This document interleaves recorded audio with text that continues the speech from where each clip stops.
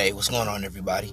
Just want to welcome everyone to the first episode of the Boombox Guru podcast. I'm your host, LB, the Boombox Guru. And this first episode is really more so of a welcoming episode. Uh, of course, later on, I want to cover some very uh, tragic news that's happened recently in the rock world, rock and metal world. But I just wanted to begin this episode to welcome everybody to this podcast and just give you a bit of a rundown of what I'm trying to do, what my focus is to start this thing off.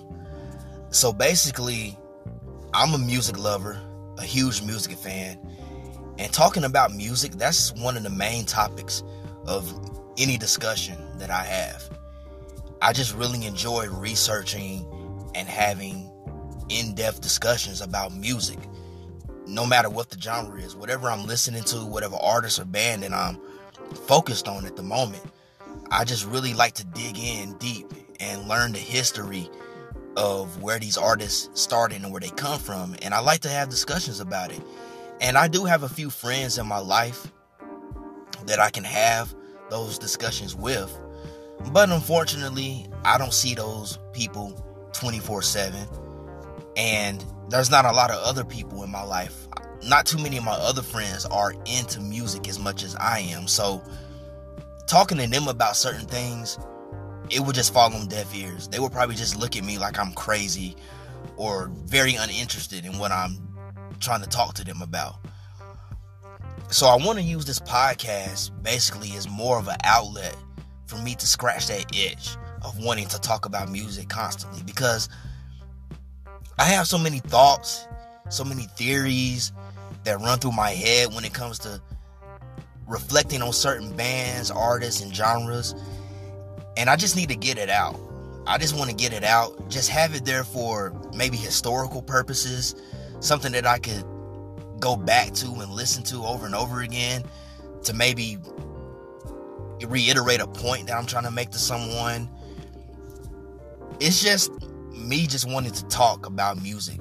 So that that's why I've labeled this podcast more of music commentary because I just want to be able to discuss different topics that go along with it, whether it be some news that is taking place with a particular artist or band, or some type of some type of discussion about certain issues that are taking place within the music landscape that I could talk to with a like-minded individual that's really my basis. I just want to talk music nonstop.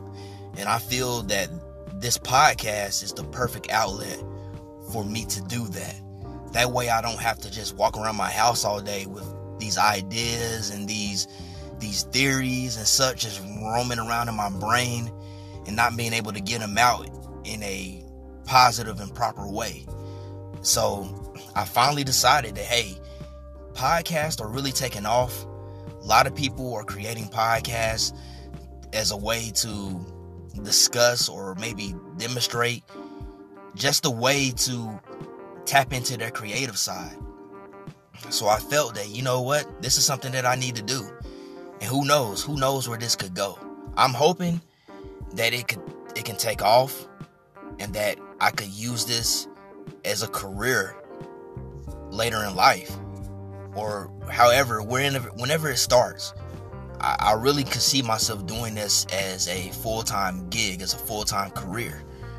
So that's my goal with this podcast, and it aligns with something that I really enjoy. I really enjoy music. I like music, and I know that's a bit cliche because you can say, "Hey, everybody likes music," but my rebuttal to that would be while everybody may like music, not everyone exactly appreciates music. You have a lot of people out here that take music for granted. They just listen to it because it's there to listen to, or they might just use it as background noise. People will casually just turn on the radio. I'm not that type of person. Listening to music for me is like when you're reading a book. You know, when you read a book and it's really good it takes you to another place. You know, if the author is really great at writing, he or she will be able to put these images of whatever is going on in that book and you can visualize it. And that's what music does for me as well. When I'm listening to songs, I visualize the artists or the bands. I visualize what they're doing. I, I can either visualize them performing the songs live or visualize my own my own version of a video of how the song could go. That's just how I do. That's just how I do. I'm you know, I I don't take it for granted either. It's something that I've always had ever since I was a little kid. Listening to music has always done it. It's always taken me to another place. You could basically say in a nutshell that it's a safe haven for me when other things weren't possibly going right in my life. Music was always something that I could go to that made me feel comfortable, that made me feel better. And not only that, but I've learned a lot from a lot of the music that I listen to. There's a lot of artists out here who actually can teach you stuff through their music, whether it be a quote, some type of message that they want to get through. Music is a great medium for that. And I, I, can give you an example. One of my favorite rappers, or should I say MCs, is Too Short. And one of his most popular songs is a song called The Ghetto. And he had a line in one of the verses in that song that said, Even though some people give you no respect, be intelligent when you put them in check. Because when you're ignorant, you get treated that way. And when you're thrown in jail, you got nothing to say. When I first heard that line in that song, it blew me away. And I had to rewind the song and just hear that line over and over again. And as you can see, I memorized it. It's stuck in my head. And it's actually something that I've applied to my life. And that's one of the many things that I enjoy about music. It does that for me.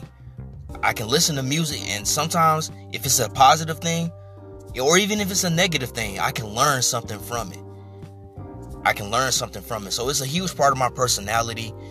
It's shaped and molded who I am as a person. And that's why I wanted to make this podcast to really to really explain that and really just I guess you could say it's more of my appreciation for music and what it's done for me in my life and the positive things that it's done for me. I just wanted to share that with other listeners because there may be other people out there who have similar stories such as mine. And this could be a great thing for them to listen to. And it could even inspire them to want to start their own show or whatever. But it's just awesome.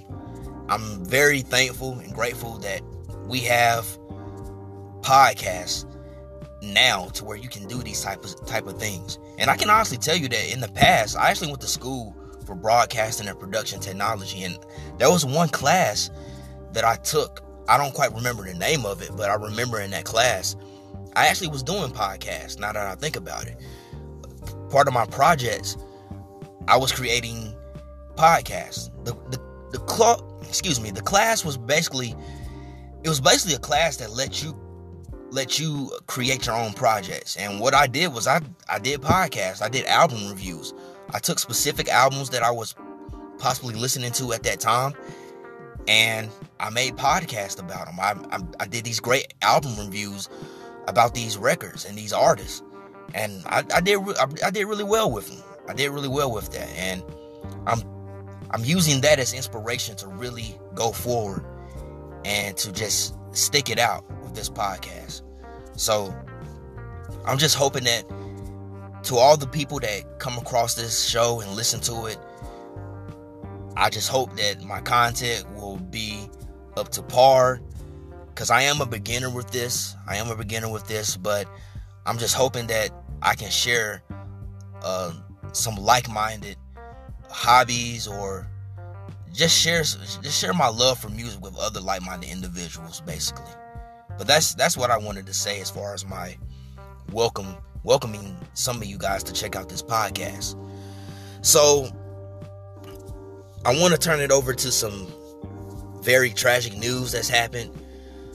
Some of you probably already know by now. Probably by the time that I actually publish this podcast, most of everybody will more than likely know about it. But of course, we, we all know that the great Eddie Van Halen has passed away. He passed away from throat cancer, I believe, which was something he had been battling for 10 years. I believe that's what his son Wolfgang announced when he made the announcement this morning that his father had passed. And I just want to say rest in peace to Eddie Van Halen. My condolences goes out to all the members of Van Halen, those who are presently in the band, those who are former members, and especially my heart goes out to his brother Alex Van Halen. You know, he, they were brothers, man. I mean, the band was called Van Halen. They started the band, and man, it's you know, Van Halen was one of the first rock bands I ever remember seeing as a kid. They used to talk about Van Halen all the time on VH1 back in the day. The video Jump, they showed that video constantly. Jump was at Jump is actually one of my favorite songs from Van Halen. I know it gets a lot of crap by people because it was a far departure from what the earlier albums were, especially when you talk about that first Van Halen record. Because that first Van Halen album, that's that's honestly their heaviest record and their most heavy metal album. A lot of good tracks off of that first Van Halen record. And you know, it's just you know, we're losing so many iconic rock musicians. Well, not just rock musicians, but just so many music artists we're losing and it's a reminder that you know these people are human too because we see these people and we put them up, up on such a high pedestal because of their great talent and where their talent is taking them. And when things like this happen it, it brings us down to reality and and it helps us to realize that yeah as great and as talented as these people are they're still human. But man, this it's this is a really big blow to the rock and metal community because Eddie Van Halen was such a great influence and such a great contributor to this scene. I mean, his guitar solo f- for Eruption. If you've never heard the the guitar solo that he did on the song on the instrumental song Eruption from the first Van Halen record, I want you to stop listening to this show right now Go on YouTube or whatever you use to find music and listen to it. If you've never heard Eruption, you need to stop right now. You need to press pause on this right now and go listen to Eruption because that changed the game.